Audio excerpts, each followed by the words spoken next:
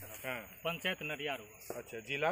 सहरसा। सहरसा। ये कौन सा धान लगाए हैं आप? ये हज़ार पच्चीस लगा है। कौन सा कंपनी का मालूम है आपको? जी नहीं मालूम। ये पटरू सीट का। पटरू- सीट का हज़ार पच्चीस है। पटरू सीट का हज़ार पच्चीस। जी जी। कैसा लग रहा है ये धान आपको? ये तो अच्छा लग रहा है। अच्छा लग रहा है। और कौन कौन सा धान लगाए हैं? और चौसठ चौवालीस लगा है अच्छा उससे ये कैसा है? उससे ये अच्छा है। अच्छा है चौंसठ चौवालीस से अच्छा है। जी। और इसका खासियत है जयप्रकाश जी इसका खाने में भी अच्छा लगेगा ये। और ये खाने में जैसे चौंसठ चौवालीस खाएँगे तो गड़ा लगेगा। जैसे पानी का अनुभव होगा लेने का। इसमें वो नहीं होगा। इसका चावल मुलायम होता है और मीठा होता है। और उससे पंद्रह दिन पहले कट भी जाएगा। जी। ये। ये 130 35 दिन में आपको कितना दिन पहले लगाए थे? मतलब कुछ डेट याद है आपको? पच्चीस जुलाई को लगाए 25 जुलाई। मतलब लगभग कितना दिन हुआ? पाँच दिन जुलाई अगस्त सितंबर अक्टूबर। तो तीन महीना नब्बे और पाँच पंचानवे और अभी दस। नहीं नहीं और लगाए थे बिचरा भी दिए थे ना? जी, जी छाट के हाँ।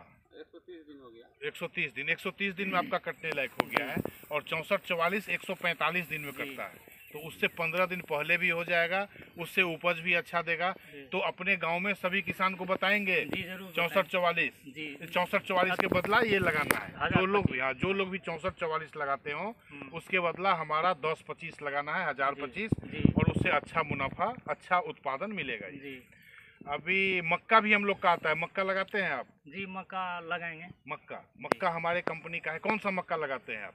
वो अभी उस सर मिनट का हमारे पास पाँच तरह का मक्का है। आपका मिट्टी कैसा है और आप कौन सा मक्का लगाते हैं उसके हिसाब से बोलेंगे हमारा ये मक्का आपका फिट बैठेगा। कौन सा मक्का लगाते थे आप पहले? अभी हमने इससे पहले जो है ना सर जी। वो आपको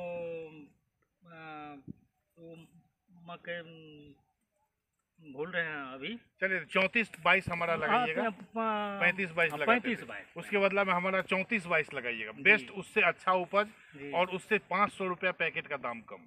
जी। उससे एक पैकेट का पाँच सौ रुपया कम भी पड़ेगा उत्पादन भी अच्छा होगा। हाँ। और एक हमारा इस बार पैंतीस पचपन एक मक्का है। पैंतीस पचपन हमारे कंपनी का पटरू सीट का। उसको भी लगा के देखिए हमारा ठगने वाला काम नहीं है। अच्छा उत्पादन देंगे अच्छा चीज़ देंगे और कम रेट में देंगे। तो थोड़ा अपने किसान भाइयों को भी बताइए कि पटरू सीड का बीज अच्छा होता है और अच्छा बीज लें और अच्छे से खेती करें। ठीक है? जी। ठीक।